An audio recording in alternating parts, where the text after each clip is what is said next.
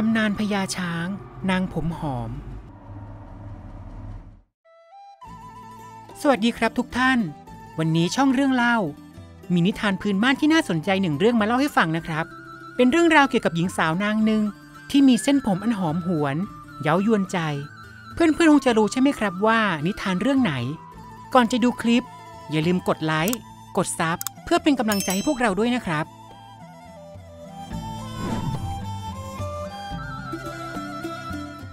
นานมาแล้ว ณหมู่บ้านแห่งหนึ่ง มีสองสามีภรรยาคู่หนึ่ง แต่งานอยู่กินกันมาตั้งนาน แต่ก็ยังไม่มีลูกสักที จึงไปบนบานขอต่อเทวดา และในที่สุดก็ตั้งครรภ์และคลอดลูกเป็นเด็กหญิงน่ารักคนหนึ่ง ตั้งชื่อว่าเทวี เด็กหญิงนั้นได้รับการเลี้ยงดูเป็นอย่างดีด้วยความรักจากพ่อแม่ทั้งสอง จนเติบใหญ่เป็นสาว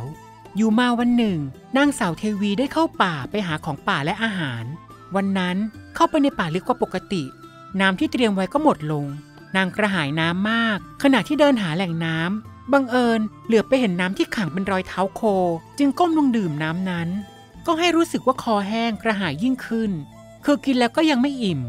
จากนั้นนางก็มองเห็นน้ำที่ขังอยู่เป็นรอยเท้าช้าง ดูใสสะอาด ก็เลยก้มลงดื่ม ก็รู้สึกชุ่มคอนัก จึงดื่มกินจนอิ่ม ความกระหายนั้นก็หายไป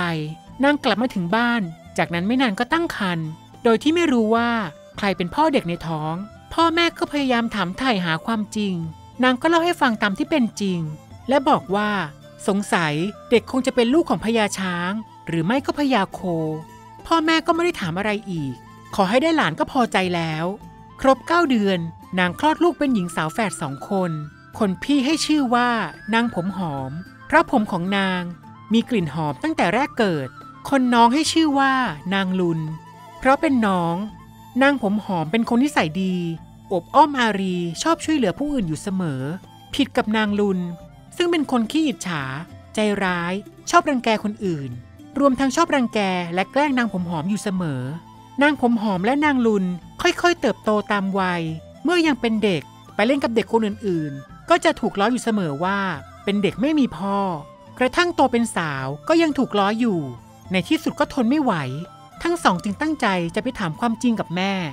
นางเทวีเล่าความจริงให้ฟัง ว่าได้ไปดื่มน้ำที่เป็นรอยเท้าโค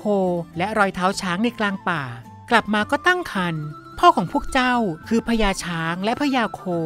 แต่ก็ไม่รู้ว่า ใครเป็นลูกโค ใครเป็นลูกช้าง นางผมหอมและนางลุน จึงขออนุญาตมารดาออกไปตามหาบิดาในป่า รบเร้าบ่อยๆ เมื่อมารดาอนุญาต ทั้งสองจึงออกเดินทางเข้าป่าตามทางที่มารดาบอก เดินทางมาหลายวัน ในที่สุด ทั้งสองก็ต้องเผชิญหน้ากับพญาช้างใหญ่เชือกหนึ่งพญาช้างเห็นทั้งสองเข้ามา ก็คิดว่าเป็นมนุษย์ที่บุกรุกเข้ามาจึงจะฆ่าเสียนางผมหอมผู้เป็นพี่จึงร้องไห้อ้อนวอนขอชีวิตพญาช้างเกิดความสงสัยว่า เหตุใดทั้งสองจึงเข้ามาในป่า ผิดวิสัยหญิงอื่นนักนางผมหอมจึงเล่าให้ฟังว่า พวกนางเป็นลูกของแม่เทวี กับพญาช้างและพญาโค ซึ่งนางลุนก็ชิงพูดว่า ตนเองเป็นลูกของพญาช้าง ส่วนนางผมหอมเป็นลูกของพญาโค หากจะฆ่าก็จงฆ่านางผมหอมเถิด นางผมหอมพูดว่า ตอนนี้ยังไม่ทราบว่าใครเป็นลูกช้าง ใครเป็นลูกโค พวกนางเพียงแต่อยากพบพ่อจึงอุตส่าห์ดันด้นเข้าสู่ป่าใหญ่ ก่อนจะฆ่านางขอให้นางได้พิสูจน์ตนเองก่อน ถ้านางไม่ใช่ลูกช้างจริงจะฆ่าก็ยอมพญาช้างจึงกล่าวว่า ยินยอมให้พิสูจน์ โดยหากใครปีนงวงขึ้นขี่คอได้ คนนั้นแหละคือลูก ว่าแล้วพญาช้างก็ตั้งจิตอธิษฐานตามนั้น แล้วยืนนิ่งๆ นางลุนมั่นใจนักว่าตนเองเป็นลูกช้าง จึงรีบปีนขึ้นงวง หมายจะขึ้นหลังช้างให้ได้ เพราะนางเป็นลูกโค แม้พยายามอย่างไรก็ไม่อาจจะปีนขึ้นได้ มีแต่จะลื่นตกลงมาดังเดิมพญาช้างจึงบอกให้พอก่อน นางผมหอมกลับปีนขึ้นได้อย่างง่ายดาย และนั่งอยู่บนคอช้างได้สำเร็จ ส่วนนางลุนเมื่อเห็นว่านางผมหอมปีนขึ้นได้อย่างง่ายดาย จึงอยากลองดูใหม่ แม้พญาช้างห้ามก็ไม่ฟัง นางลุนก็ยังปีนขึ้นไม่ได้ ในที่สุดพญาช้างจึงใช้เท้ากระทืบนางลุนตาย และนำนางผมหอมผู้เป็นลูกไปยังที่อยู่ของตน ให้บริวารนนำหินมาสร้างปราสาทหิน ให้เป็นเรือนที่อยู่ของนางผมหอม เรียกว่าปราสาทนางผมหอม นางผมหอมแม้จะดีใจที่ได้พบพ่อ แต่ก็สงสารนางลุนผู้เป็นน้อง ร้องไห้มาตลอดทาง แต่ก็ไม่กล้าต่อว่าอะไรพญาช้างผู้เป็นบิดา ได้แต่ติดตามดูแลปรนนิบัติ ด้วยความรักในธิดา เมื่อนางผมหอมต้องการไปไหน ก็ให้ขี่คอไป นางผมหอม อาศัยอยู่ในป่ากับพญาช้างเป็นเวลาหลายปี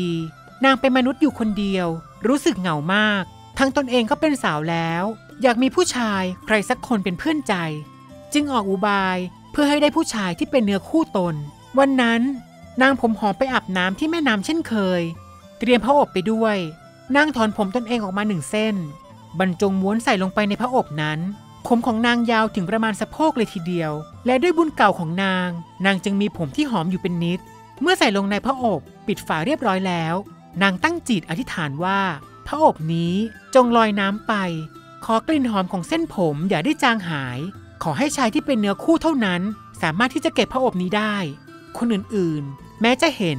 หากไม่ใช่เนื้อคู่แล้วไซส์ขอให้เก็บเอาไปไม่ได้เถิด หากชายที่เป็นเนื้อคู่เก็บไปได้ ขอให้มีใจมั่นที่จะออกมาตามหาตนเอง จนได้พบกัน เมื่ออธิษฐานเสร็จแล้ว ก็ปล่อยวางพระอบลงแม่น้ำพระอบนั้นได้ลอยตามน้ำไปเรื่อยๆ จนไปถึงเมืองรัตนา ก็ลอยวนเวียนอยู่ไปมาแถวแถวๆท่าน้ำด้านหน้าพระราชวัง เมืองรัตนา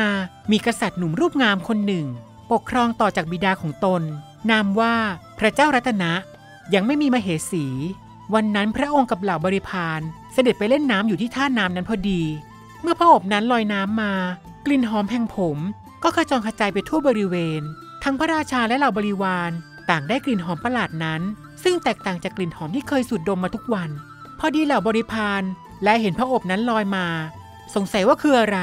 จึงต่างพากันว่ายน้ำเพื่อจะไปเก็บ แต่ก็ไม่มีใครสามารถจะเก็บมาได้ สร้างความประหลาดใจให้แก่พวกเขายิ่งนัก จึงมากราบทูลให้พระราชาทรงทราบ พระองค์จึงทรงใคร่ลองด้วยพระองค์เอง จึงว่ายน้ำเข้าไป และเก็บได้อย่างง่ายดาย สร้างความอัศจรรย์ใจให้แก่เหล่าบริพารยิ่งนัก พระเจ้ารัตนาทราบว่ากลิ่นหอมต้องมาจากพระอบนี้เป็นแน่แท้ ขึ้นฝั่งมาเปิดพระอบออกดู จึงพบเพียงเส้นผมยาวๆสีดำคลับมันเงาเส้นหนึ่ง เส้นผมยิ่งส่งกลิ่นหอมอบอวลไปทั่ว พระองค์คิดว่าเส้นผมนี้คงเป็นผมของเทพธิดากระมัง ถึงได้หอมปานนี้ หรือถ้าเป็นมนุษย์ ผู้หญิงคนนั้นคงต้องเป็นคนที่มีบุญมากเป็นแน่แท้ เอาเถิด เราจะออกตามหานางให้พบนำมาเป็นพระมเหสีให้จงได้ พระเจ้ารัตนะฝากบ้านเมืองไว้กับเหล่าบริพารที่ไว้ใจ